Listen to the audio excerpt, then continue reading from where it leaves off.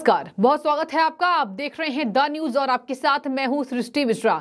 यहाँ पर दिल्ली के अशोका होटल में एनडीए की बैठक की शुरुआत हो गई है और देखिए, उधर मैं बात करूँ, बैंगलोर पहुँच जाइए तो वहाँ पर विपक्ष की एकजुटता देखने को मिली है। लेकिन दिलचस्प इसमें कहानियाँ इतनी निकल कर आ रही है कि एक एक पर विश्लेषण ज़रूरी है ताकि आपको समझ में आए कि बातें क्या छन कर बैंगलोर से सामने आ रही है। दर्शकों, सबसे बड़ा अपडेट इसमें सामने आ रहा है कि विपक्षी एकता में भले ही सोनिया गांधी के बगल में ममता बैठी नज़र आ रही हूँ, लेकिन उस चित्र को लेकर लोग निशाना यह भी साध रहे हैं कि यही कांग्रेस पार्टी है जो ममता को बगल में कुर्सी पर बिठाए है, जिसने ममता ने हत्या कराई है कांग्रेस के कार्यकर्ताओं की। खैर, छोड़िए, अब मैं आपको बयानों को सुनाती हूँ कि क्या क्या बयान राहुल गांधी, इनके केजरीवाल और इधर ममता बनर्जी ने दे दिया है। जब विपक्षी एकता वहाँ पर जुटना शुरू हुई तो वहाँ पर मीडिया कर्मियों ने विपक्षियों से बातचीत की है। एक एक करके बयान वायरल हो रहे हैं। सबसे पहला तंज तो इनके नाम पर देखा जा रहा है। देखिए, इन्होंने अपने विपक्षी गठबंधन का नाम इंडिया रखा है। आपको हँसी आई होगी, ज़रूर मैं समझ रही हूँ इस बात को। इंडिया की सभ्यता, संस्कृति और यहाँ की राजनीति किस तरीके से है और किस तरीके से यह मशहूर है, आपको पता होगा। और अंग्रेज़ों से लड़ने में यहाँ क्रांतिकारियों ने अपने जान को न्यौछावर कर दिया। तब जाके इंडिया का नाम पड़ा। सबसे पहले बातचीत मैं आपसे करूँगी राहुल गांधी के बयान पर। क्या उन्होंने विपक्षी एकजुटता पर भाषण दिया है? देखिए उन्होंने कहा है ये लड़ाई ऑपोजिशन और बीजेपी के बीच में लड़ाई नहीं है। देश की आवाज़ को दबाया और कुचला जा रहा है। ये देश की आवाज़ के लिए लड़ाई है। और इसीलिए ये नाम चुना गया। Indian National Developmental Inclusive Alliance मतलब इंडिया लड़ाई एनडीए और इंडिया के बीच में है। नरेंद्र मोदी जी और इंडिया के बीच में है। उनकी विचारधारा और इंडिया के बीच में है। आप जानते हो, जब भी कोई हिंदुस्तान के सामने खड़ा होता है, इंडिया के सामने खड़ा होता है तो जीत किसकी होती है? कहने की ज़रूरत भी नहीं है। मैंने कहा दूसरी मीटिंग है, इसके बाद हमारी मीटिंग महाराष्ट्र में होगी।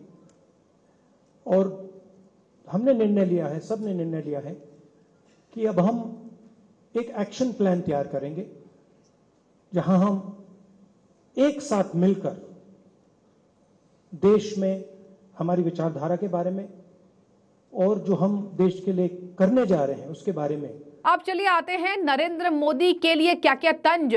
यहाँ पर ममता ने कसा। ज़ाहिर सी बात है, ममता बनर्जी का काम ही ये है। और देखिए, इन्होंने कहा, राहुल गांधी ने कहा, चर्चा के दौरान हमने इंडिया नाम को चूज़ किया। बैठक में काफ़ी सार्थक चर्चा हुई है अच्छी चर्चा हुई है। हम एक्शन प्लान तैयार करेंगे। ममता से जब पत्रकारों ने बातचीत की तो ममता कहती हैं, ममता बनर्जी ने कहा कि क्या बीजेपी इंडिया को चुनौती दे सकती है? ममता ने कहा, देश आज खतरे में है तो बीजेपी का काम सरकार बेचना और खरीदना हो गया। ममता कह रही हैं कि भारतीय जनता पार्टी का एक ही काम है सरकार खरीदना और बेचना। यहाँ पर विपक्ष क्या कर रहा है? उधर एनडीए में भी पाला बदला जा रहा है और इधर विपक्ष की एकजुटता भी देखी जा रही है। इसमें भी पाला बदलने की कवायद तेज आगे सुनिए, अरविंद केजरीवाल ने क्या कहा?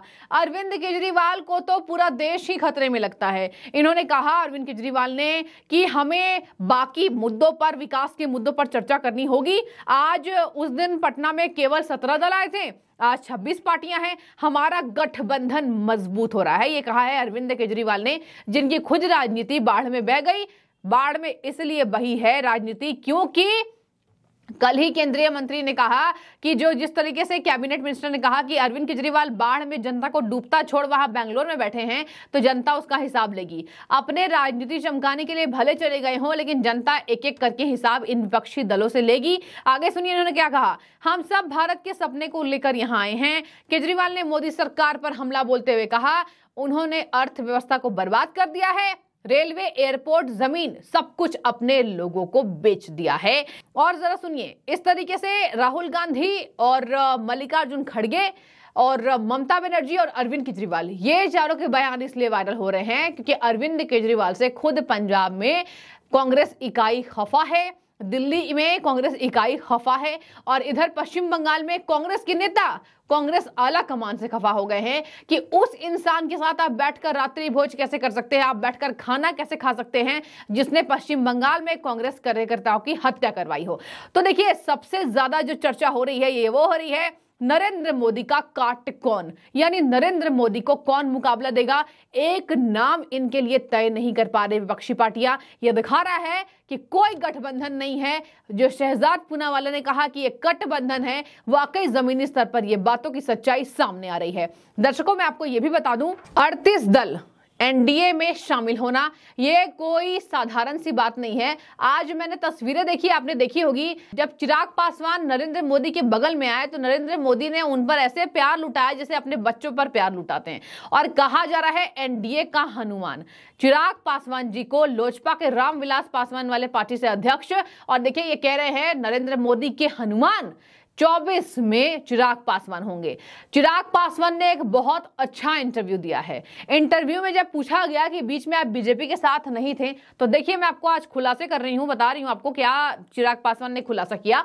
चिराग पासवान को क्यों हनुमान कहा जा रहा है? राम जी के लिए जब लक्ष्मण मूर्छित हुए थे तो संजीवनी बूटी जो वो लेकर आए थे, हनुमान जी लेकर आए थे। और देखिए, सीता जी को वापस लाने में भी हनुमान जी का ही हाथ है। ऐसे ही एनडीए के कुंबे में हनुमान चिराग पासवान को इसलिए बताया जा रहा है क्योंकि नीतीश कुमार ही विपक्ष के नेतृत्व में नेता बने हुए हैं अभी फ़िलहाल। और मैं आपको यह भी बता दूँ चिराग जी की बात करें, चिराग पासवान की तो चिराग पासवान ने केवल नीतीश कुमार की वजह से बीजेपी का दामन छोड़ा था। आज पत्रकारों से बातचीत करते हुए उन्होंने खुलासा कर दिया है। मैं आपको यह भी बता देती हूँ, चिराग पासवान ने यह भी बात कह दी नीतीश कभी इधर, कभी उधर। मुझे बीजेपी और नरेंद्र मोदी से कभी दिक्कत नहीं हुई। अगर दिक्कत हुई होती तो मैंने उपचुनाव में भाजपा के कैंडिडेट्स के लिए घूम घूम कर गाँव में वोट नहीं मांगा होता। अभी बिहार में उपचुनाव हुए थे। और दर्शकों को बता दूँ, चिराग पासवान ने भारतीय जनता पार्टी के कैडर के लिए वोट मांगे थे, जबकि वो बीजेपी गठबंधन में नहीं थे। ये दिखाता है कि पीएम मोदी के लिए उनकी चाहत हमेशा से एक थी। कह भी दिया, प्रधानमंत्री को मैं शुरू से पसंद करता हूँ। प्रधानमंत्री के नेतृत्व में काम करना मेरे लिए भाग्यवान की बात है और मैं करूँगा। युवा नेता हैं, चहेते हैं, बिहार में एक बहुत बड़ी पकड़। रामविलास पासवान के देहांत के बाद काफ़ी मुश्किलों का उन्होंने सामना किया, लेकिन अब मजबूती के साथ वापस आ गए हैं, एनडीए में मिल गए हैं। देखने वाली बात होगी, अरविंद केजरीवाल जो ये कह रहे हैं, देश को डुबा दिया। अरविंद केजरीवाल खुद तो अपनी राजनीति पहले बचा ले। ममता बनर्जी हिंसा पर घिरी हुई है। अभी जनता बेनकाब कर रही है और इधर राहुल गांधी की सांसदी चली गई है। और शरद पवार पर पूरे मीडिया की निगाहें हैं, कैमरा शरद पवार पर ही है। शरद पवार बड़ा खेला कर सकते हैं। तो देखने वाली बात होगी, फ़िलहाल आपको मैंने पूरे विपक्ष की गठबंधन की बात बताई है और एक एक करके इनके बयानों को भी बता दिया, क्या बयान दिया है। और इधर सबसे बड़ी चर्चा, नरेंद्र मोदी का काट कौन तो बने रहिए और आप भी ज़रूर कमेंट करें, आपको क्या लगता है? विपक्ष में कौन वो नेता होगा जो नरेंद्र मोदी के सामने पीएम उम्मीदवार अपने आप को घोषित करेगा और पूरे दल मिलकर उसका समर्थन करेंगे। क्या राहुल गांधी होंगे, जो कि खुद सांसदी खोए बैठे हैं? तो क्या लगता है किसका नाम सामने आ सकता है? ज़रूर अपनी बातों को रखें। बहुत शुक्रिया आपका तब तक द न्यूज़ से जुड़ने के लिए।